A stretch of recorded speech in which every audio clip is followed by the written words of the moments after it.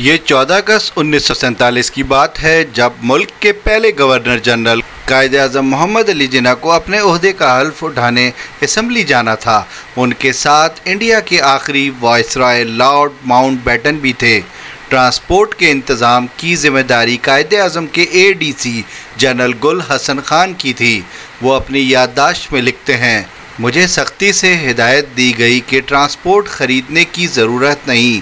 उसी पर गुजारा करें जो हमारे पास है और ज़रूरत के तहत गाड़ियाँ उधार मांगें। गाड़ियाँ उधार मांगना अमली तौर पर ठीक साबित नहीं हुआ, क्योंकि जिनके पास अच्छी नज़र आने वाली गाड़ियाँ थी, उन्होंने ख़ुद उन गाड़ियों पर तकरीब में शरीक होना था। और फिर एक मज़ीद मुश्किल उस वक्त खड़ी हुई जब वाइस रॉय और गवर्नर जनरल ने ये ख्वाहिश ज़ाहिर की कि वो सिंध असम्बली किसी खुली छत वाली गाड़ी पर आना चाहेंगे। पाकिस्तान के बानी मोहम्मद अली जिना और इंडिया के आखिरी viceroy, Lord Mountbatten इस रोज रॉयस में गवर्नर जनरल हाउस से सिंध असम्बली पहुँचे थे। पीले रंग की ये Rolls Royce Nawab of Bahawalpur की मिल्कियत थी। 1924 के इस मॉडल को कई बरसों से इस्तेमाल में नहीं लाया गया था और इसे काफ़ी मरम्मत की ज़रूरत थी। सिंध असम्बली की इमारत में तकरीब के बाद वाइस रॉय और गवर्नर जनरल वापस गवर्नर जनरल हाउस पहुँचे। तकरीब के बाद का हवाल बताते हुए गुल हसन कहते हैं कि पीली रोज़ रॉयस बमुश्किल घर से पोश तक पहुँच पाई। दोनों मोज़ शख्सियात को उस पर से उतारा गया और कार का इंजन जवाब दे चुका था। अचानक उसके इंजन में आग भड़क उठी, जिसे अमले ने बुझाया। गाड़ी को धक्का लगाकर आगे ले जाया गया, ताकि मिस जना और लेडी माउंट बैटन की कार के लिए जगह बनाई जा सके। गुलसन मजीद बताते हैं कि मैंने फ़ौर हुक्म दिया कि रोज़ रॉयस उसके असल मालिक को लौटा दी जाए। इससे पहले कि किसी के जहन में ये ख्याल आए कि क्यों ना इस खुली छत वाली गाड़ी पर कराची की सैर की जाए।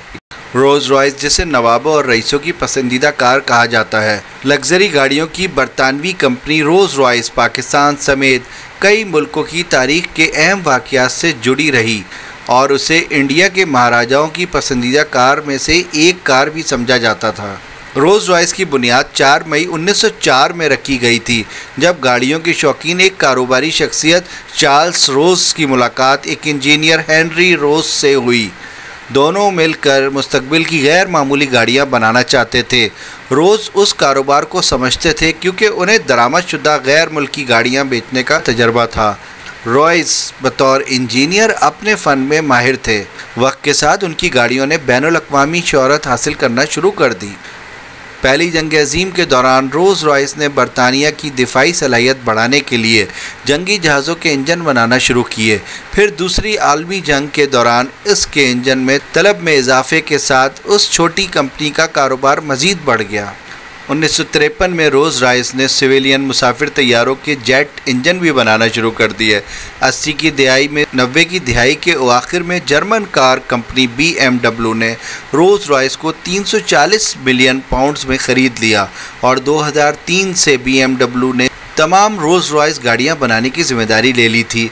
यहाँ इब्तदा में रोज़ रॉयस गाड़ियाँ नवाब ख़ानदानों के पास ही हुआ करती थीं। शायद इसकी एक वजह ये थी कि ये गाड़ियाँ उस वक्त एक स्टेटस सिंबल समझी जाती थी और लोग उसे अपनी पसंद के तहत तैयार करवा सकते थे। नवाब ऑफ़ खैरपुर के पास दो कदीम रोज़ रॉयस थीं। नवाब ऑफ़ भावलपुर के पास काफ़ी रोज़ रॉयस गाड़ियाँ हुआ करती थी। मलका बरतानिया की जानब से भी एक रोज़ रॉयस पाकिस्तान के पहले गवर्नर जनरल मोहम्मद अली जिना को तोहफे में दी गई थी, जो उनकी वफात तक उनके इस्तेमाल में रही। एक रोज़ रॉयस कार सबक वज़ी अजम जुल्फ़ार अली भुट्टो को भी तोहफे में मिली। कार जुल्फ़ार अली भुट्टो के अलावा उनकी साहबजादी बेनज़ीर भुट्टो, शहजादी डियाना, मोहम्मद अली किले बॉक्सर के अलावा पाकिस्तान का दौरा करने वाले मुख्तलिफ़ ममालिक के सरबराहान के दौरों के मौके पर जेर इस्तेमाल रही। वीडियो के बारे में अपनी राय का इजहार कमेंट्स में कीजिए। शुक्रिया।